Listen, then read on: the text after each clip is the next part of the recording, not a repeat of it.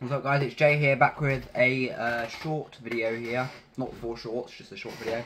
I'm going to teach you how to play the Batman theme on guitar. So, it's actually a pretty simple thing. So, you just want to hold down these three on the, uh, one, two, three, on the fourth one. Just hold down three strings on the fourth one and strum.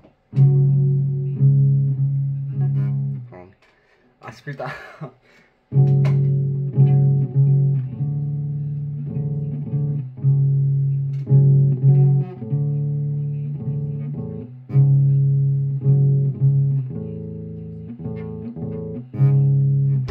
played it.